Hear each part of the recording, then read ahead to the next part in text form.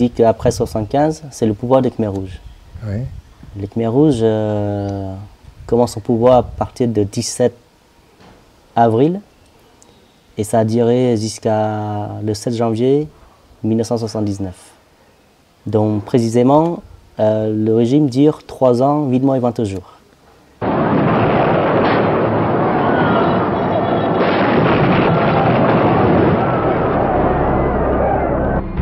Ce mouvement révolutionnaire est soutenu depuis plusieurs années par une partie de l'opinion mondiale et bon nombre d'intellectuels.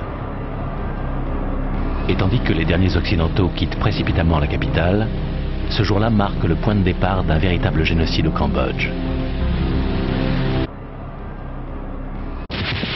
17 avril 1975, un rideau noir s'abat sur le Cambodge. Il n'y a plus d'images,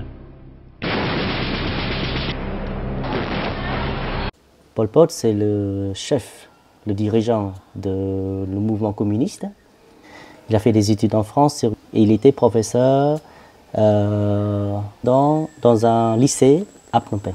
Quand il a pris au pouvoir le 17 avril 1975, il commence à vider les gens dans les villes. Donc euh, toutes les grandes villes sont euh, évacuées à la campagne. Et les gens qui sont à la campagne font des, travaux forcés. Tout à fait.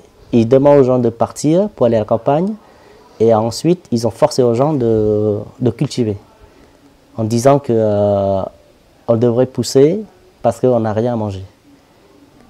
Et euh, Phnom Penh, par exemple, pendant 4-5 heures, ils arrivent à évacuer euh, presque 2 millions euh, d'habitants.